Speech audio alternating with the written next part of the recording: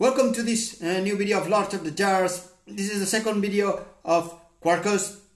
Remember that in the first one I introduced you Quarkus, how you get started with it, and you know we develop a simple REST API, and also I showed you one thing that was called live reloading, where basically you just start Quarkus and any change that you do on your um, IDE, it was automatically reflected on the um, living instance of Quarkus, right? So you could just fix a bug with just live reloading. But this um, live reloading also allow us to do one thing that I called live debugging, which is exactly the same, but in terms of debugging. Let's see in action.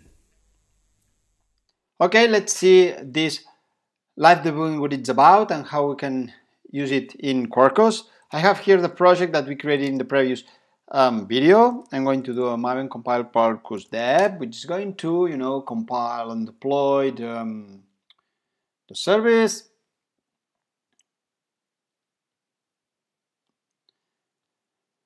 It just started at port 8080 and notice one important thing is that also by default it's starting um, 5005 ports as well and we're going to see now why.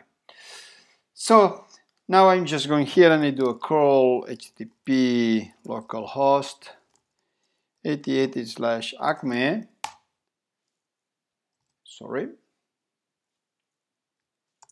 Now I notice that it returned nothing and it's like why? In theory it should return right hello world or something like that this is the project okay notice that I have here the debug point and then the only thing that you need to do is configure your um, IDE, right, to uh, do a remote debugging.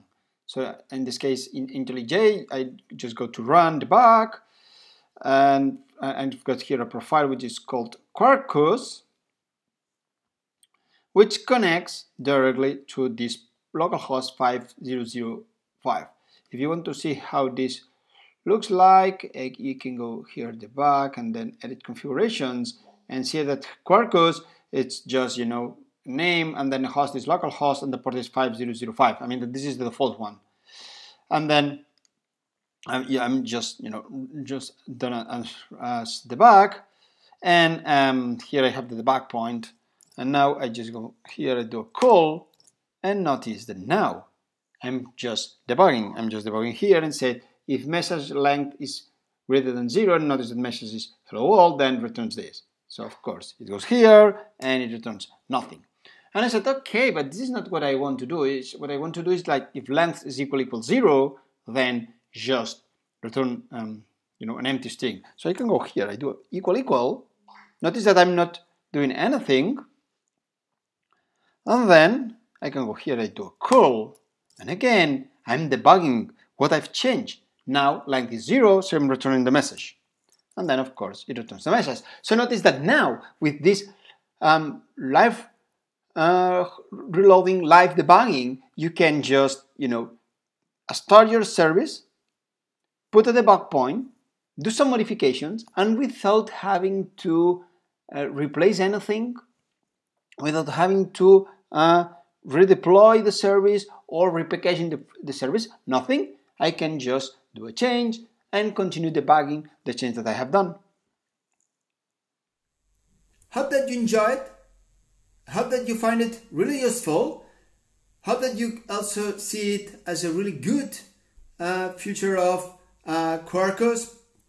If you want to uh, keep updated with more videos of Quarkus or uh, CLI tools or Java in general, just subscribe to the channel or subscribe to my Twitter, which you can see it on the description of the video. See you. Bye bye.